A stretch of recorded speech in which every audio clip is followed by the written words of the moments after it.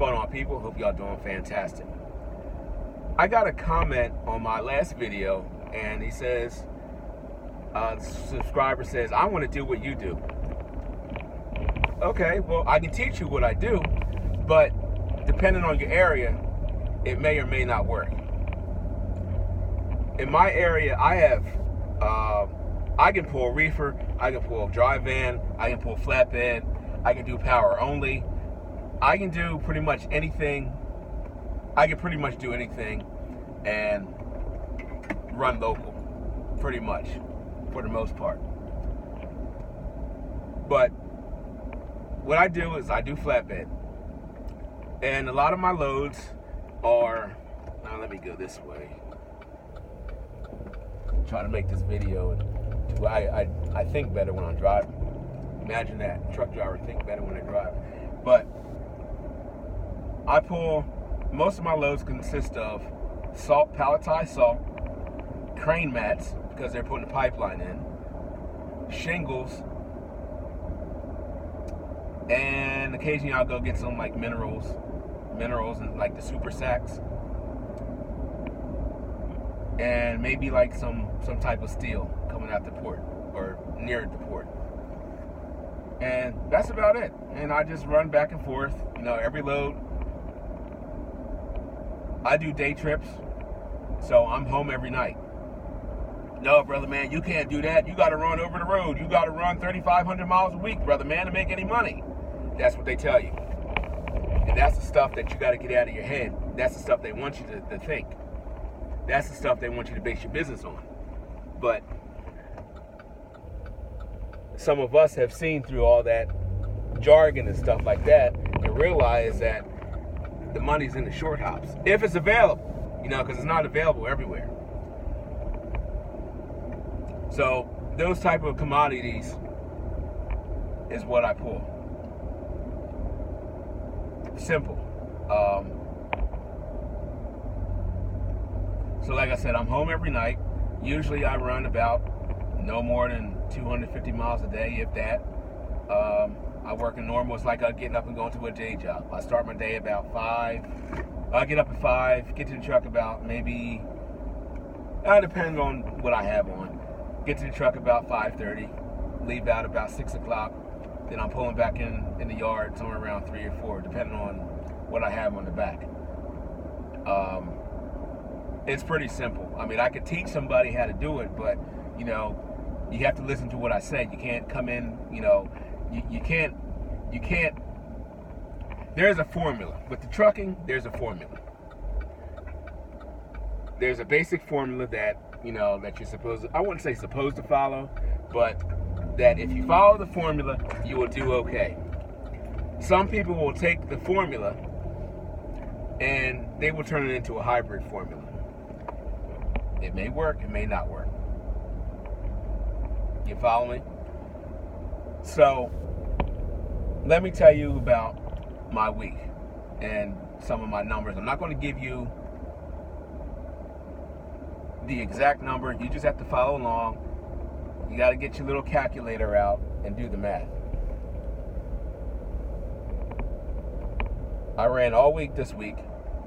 I did, no, I had uh, Wednesday off because it was a holiday it was one of their holiday, not my holiday, because if you're black, you shouldn't be celebrating Fourth of July because that holiday is not for you.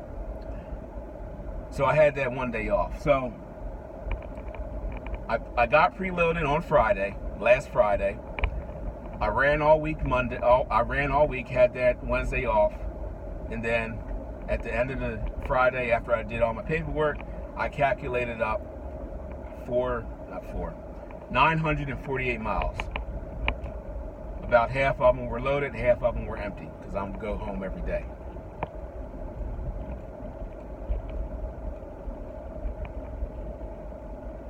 My average for all miles was $5.01. Think about that. Now, you will hear other people talking about I'm happy making two dollars a mile gross.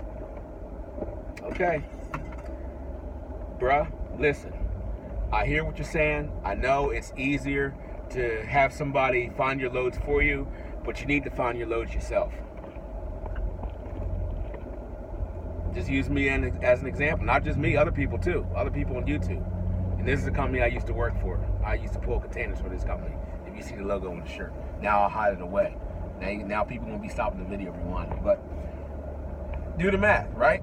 So I have this app on my phone, and it's a it's a calculator where I can plug in all my numbers, my all my line item numbers, all my fixed cost numbers, and that cup of coffee, uh, the the sandwich, fuel, back office stuff, uh, Transflo fees, quick pay fees, all that type of stuff.